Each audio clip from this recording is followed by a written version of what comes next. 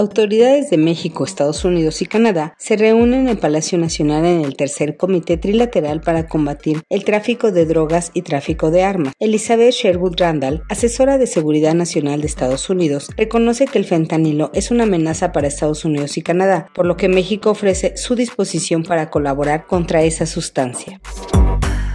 Hamas propone 135 días de tregua para calmar las armas en Gaza, durante los cuales todos los rehenes quedarían libres. Israel retiraría sus tropas de la franja de Gaza y es posible que se alcanzara un acuerdo para el fin de la guerra. Así lo dio a conocer el portavoz del gobierno Israel.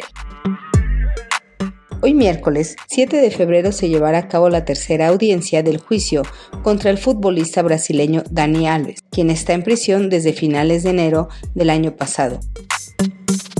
Carol G se presenta en el Estadio Azteca antes de su remodelación para ser sede de la próxima Copa del Mundo. Mañana será Bonito Tour, estarán los días 8, 9 y 10 de febrero y los accesos al Coloso serán a partir de las 18 horas.